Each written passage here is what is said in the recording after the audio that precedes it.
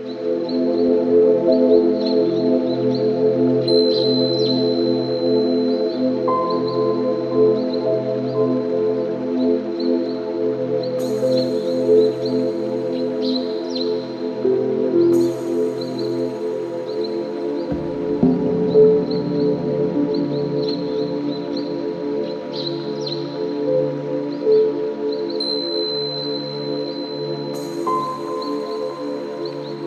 ณชายฝั่งอ่าวไทยที่สถานตากอากาศบางปูจังหวัดสมุทรปราการ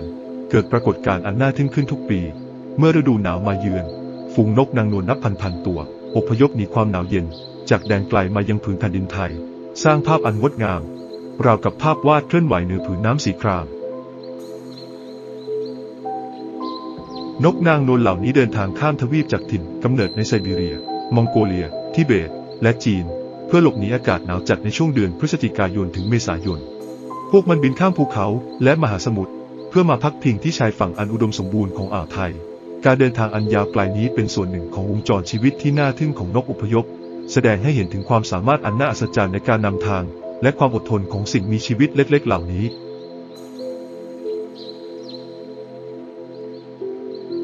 สะพานสุกตาทอดยาวออกไปในทะเลกว่า 500 เมตร เป็นเวทีธรรมชาติ ให้นักท่องเที่ยวได้ชมการแสดงอันน่าตื่นตาของฝูงนกนางนวล พวกมันโฉบไปมาเหนือผืนน้ำ สร้างภาพอันงดงามราวกับภาพวาดเคลื่อนไหว นักท่องเที่ยวสามารถยืนชมและถ่ายรูปนกที่บินวนโฉบไปมาได้ทั้งสองฝั่งของสะพาน นอกจากนี้ยังสามารถเห็นนกที่พักลอยตัวอยู่เหนือน้ำได้อีกด้วย ที่ปลายสะพานมีสิ่งก่อสร้างสำคัญคือ ศาลาสุขใจ ซึ่งเป็นอาคารที่มีร้านอาหาร ลานกิจกรรม และระเบียงชมวิว เป็นจุดพักผ่อนที่สมบูรณ์แบบสำหรับนักท่องเที่ยวที่ต้องการดื่มด่ำกับบรรยากาศ และทัศนียภาพอันงดงาม ที่นี่พบนกนางนวลหลากหลายสายพันธุ์ ทั้งพันธุ์ธรรมดา พันธุ์หางดำ พันธุ์ขอบปีกขาว พันธุ์ปากเรียว พันธุ์มองโกเลีย และพันธุ์หลังดำรัสเซีย แต่ละสายพันธุ์มีเอกลักษณ์เฉพาะตัว สร้างสีสันให้ท้องฟ้าเหนืออ่าวไทย ป่าชายเลนบริเวณสถานตากอากาศบางปูเป็นแหล่งอาหารอันอุดมสมบูรณ์สำหรับนกนางนวล ระบบนิเวศที่ซับซ้อนนี้ประกอบด้วยต้นกงกา แสม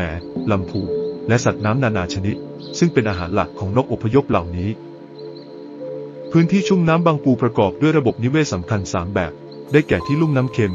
หาดโคลน และป่าชายเลน ซึ่งแต่ละส่วนมีบทบาทสำคัญในการสนับสนุนความหลากหลายทางชีวภาพของพื้นที่ หาดโคลนเป็นแหล่งอาหารสำคัญของนกนางนวล เต็มไปด้วยสัตว์หน้าดินจำนวนมาก เช่นหอย ปูและไส้เดือนทะเล ซึ่งเป็นอาหารโปรดของนกเหล่านี้ ในขณะที่ป่าชายเลนช่วยกรองน้ำเสีย และเป็นแหล่งอนุบาลสัตว์น้ำไวอ่อน สร้างความสมดุลให้กับระบบนิเวศโดยรวม นักท่องเที่ยวสามารถมีส่วนร่วมในการให้อาหารนกนางนวล โดยเฉพาะกักหมูซึ่งเป็นอาหารโปรดของพวกมัน ภาพของนกโฉบลงมาคว้าอาหารจากมือมนุษย์ เป็นประสบการณ์ที่น่าจดจำแสดงให้เห็นถึงความเชื่อมโยงระหว่างมนุษย์และธรรมชาติ อย่างไรก็ตามการให้อาหารนกควรทำด้วยความระมัดระวัง และเคารพต่อธรรมชาติ นักท่องเที่ยวควรใช้เฉพาะอาหารที่เหมาะสม และได้รับอนุญาตเพื่อไม่ให้ส่งผลกระทบต่อสุขภาพของนก และระบบนิเวศโดยรวม แม้ว่าสถานตากอากาศบางปูจะเป็นแหล่งท่องเที่ยวยอดนิยม แต่ก็เผชิญกับความท้าทายด้านการอนุรักษ์ การรักษาสมดุลระหว่างการท่องเที่ยว และการปกป้องระบบนิเวศเป็นสิ่งสำคัญยิ่ง เพื่อให้นกนางนวลยังคงกลับมาเยือนในทุกๆปี ฤดูกาลที่ดีที่สุดในการชมนกนางนวลที่บางปู คือช่วงเดือนพฤศจิกายนถึงเมษายน โดยเฉพาะในเดือนธันวาคมที่จะมีนกนางนวลมากที่สุด ประมาณ 7,000ถึง8,000 ตัว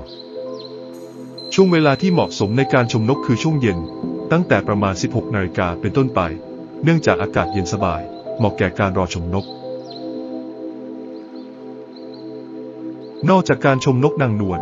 สะพานสุกตายังเป็นจุดชมวิวที่สวยงาม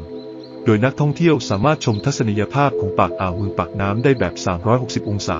อีกทั้งยังเป็นจุดชมพระอาทิตย์ตกที่สวยงามในช่วงเย็น สร้างบรรยากาศอันน่าประทับใจให้กับผู้มาเยือน ปรากฏการณ์นกนางนวลที่บางปูไม่เพียงแต่เป็นความมหัศจรรย์ทางธรรมชาติ แต่ยังเป็นเครื่องเตือนใจถึงความเชื่อมโยงอันลึกซึ้งระหว่างสิ่งมีชีวิตบนโลกใบนี้ และความสำคัญของการอนุรักษ์ระบบนิเวศ เพื่อคงไว้ซึ่งความงดงามนี้สืบไป การได้เห็นฝูงนกนางนวลบินว่อนเหนือผืนน้ำสีคราม ท่ามกลางแสงสีทองของพระอาทิตย์ตกดิน เป็นประสบการณ์ที่จะตราตรึงอยู่ในความทรงจำของผู้มาเยือนไปอีกนานสถานตากอากาศบางปูจึงไม่เพียงแต่เป็นสถานที่ท่องเที่ยว แต่ยังเป็นห้องเรียนธรรมชาติขนาดใหญ่ ที่เปิดโอกาสให้ทุกคนได้เรียนรู้ และตระหนักถึงความสำคัญของการอนุรักษ์สิ่งแวดล้อม เพื่อให้ความมหัศจรรย์แห่งธรรมชาตินี้ยังคงอยู่คู่กับเราไปชั่วลูกชั่วหลาน